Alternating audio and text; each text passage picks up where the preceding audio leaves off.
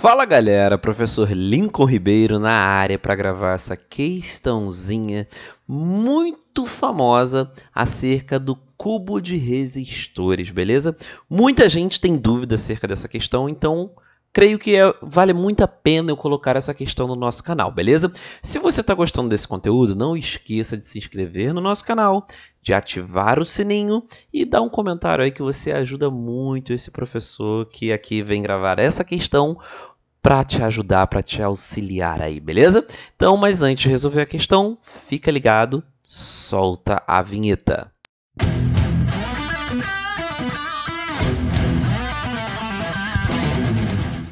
Bom, vamos lá. Olha só, é o cubo de resistores. Mas antes de fazer a questão em si do cubo de resistores, eu precisava falar uma coisinha com vocês. Olha esse circuitozinho aqui. Vamos supor que neste ponto A nós temos uma DDP nele, né? Uma DDP não, um potencial elétrico de 15 volts, tudo bem? Nesse ponto A, 15 volts. Quanto que eu vou ter de potencial elétrico no ponto B? Perceba, aqui houve uma dissipação né, desse potencial. Né? Quanto que esse resistor vai acabar utilizando, consumindo? É só fazer R vezes I, né? 3 vezes 3, R vezes I, 9. Então, aqui ele vai consumir 9. Tinha 5, dissipou 9, então quanto que vai ficar aqui? 15 menos 9. O famigerado 6 volts. Ah, tá, Lincoln. Beleza, e quanto que vai ter no ponto C? No ponto C, essa corrente continua, não continua? Então, por aqui vai passar quanto? Vai passar 3 ampere. Então, quanto que vai consumir? R vezes I. 2 vezes 3, 6. Se tinha 6 e ele utiliza 6 volts, então aqui nós teremos quanto? 0 volts. Tudo bem? Então, qual é a diferença de potencial daqui para cá? Ah, é 15 menos 6. Qual a diferença de potencial daqui para cá? É 6 menos 0. Com essa lógica, nós seremos capazes de resolvermos essa questão. Porque imagina, ó, a corrente vai entrar aqui por A e vai sair aqui em B. Vamos colocar o seguinte, que aqui em A vai entrar uma corrente de 3 vezes I. Quando chega neste pontinho aqui, que por acaso também é A, essa corrente vai se dividir, não vai? Ela vai se dividir em três partes, iguais, inclusive, porque a resistência é igual, vai se dividir para cá I, para cá vai vir I, e para cá também virá I. É mesmo, Lincoln? É mesmo, exatamente assim. Agora pensa comigo. Se daqui para cá, quanto que consumiu a DDP? Ué, R vezes I, tudo bem? Então foi R vezes I. Vou chamar esse ponto aqui de ponto C. Deixa eu colocar outra cor aqui, de ponto C. O ponto C é o quê? É o ponto A menos R vezes I. Agora, olha só. Vamos supor assim, que aqui é 10. E esse R vezes I deu 5. Quanto que vai ser no ponto C? 5 volts, não é? Agora, olha só. Aqui consumiu quanto também? R vezes I. Se era 10, consumiu 5, então aqui também é 5. Logo, se esse ponto é C, eu vou chamar esse ponto aqui de C também. Mesma lógica aqui, ó. Quanto que consumiu daqui para cá? R vezes I. Então, aqui também é C. Olha só, achamos todos os pontos 6 aí escondidos, não é? Agora, olha só. Se entra 3i, quanto que vai ter que sair aqui? Lincoln, aqui vai ter que sair 3i, não é? Então, quer dizer que daqui vai vir i, daqui vai vir i, e daqui vai vir i. Agora, olha que legal, gente. Quanto que foi utilizado daqui para cá? Lincoln, R vezes I, não é? É, então chamar aqui de D.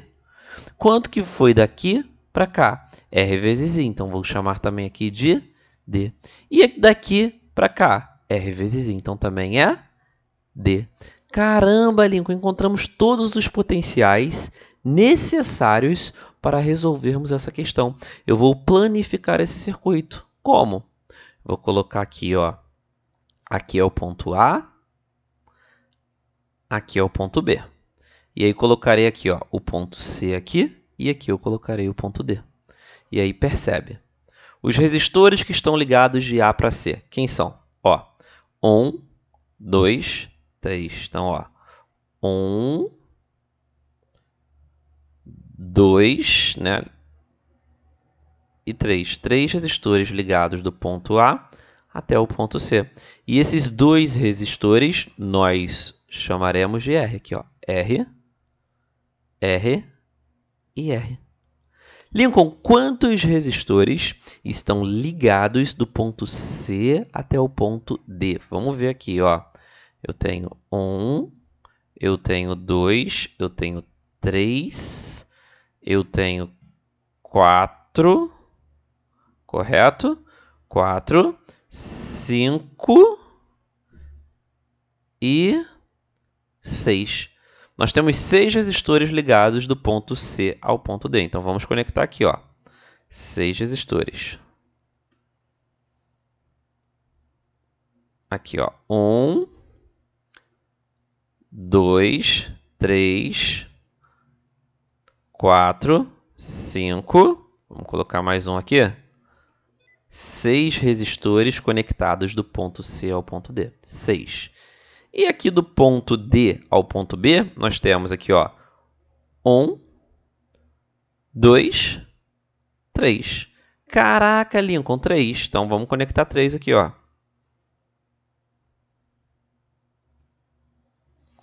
Olha como o circuito ficou simples. Esse circuito aqui é exatamente o circuito do cubo de resistores.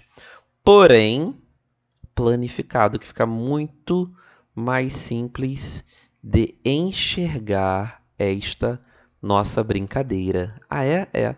Porque olha só, 3 em paralelo, nós calculamos assim, ó. R sobre 3. Aqui eu vou até dizer assim que o REC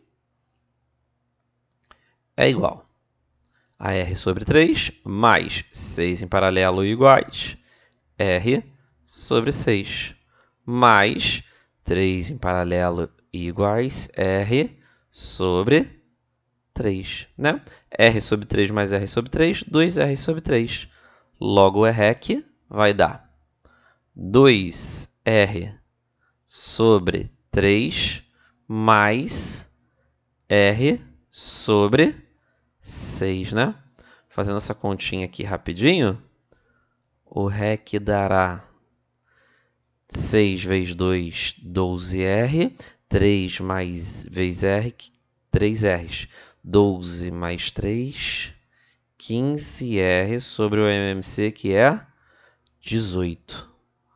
Simplificando essa brincadeira aí, nós teremos, né, por 3, dividindo por 3 em cima e embaixo, 5R sobre 3, que seria a nossa resposta. 5R sobre 3 não, perdão. Olha aí, fazendo continha errada. 5R sobre 6. Show de bola? Então, olha como que ficou simples, né? Questão bem simples aí para que a gente possa entender, né? Esse método é chamado de simetria de circuitos, mas a gente consegue perceber basicamente por conta da lei de Ohm, beleza? Espero que você tenha entendido. Um forte abraço, não esquece de deixar o like, esse comentário e qualquer dúvida estou à disposição. Um forte abraço, estamos juntos e até a próxima.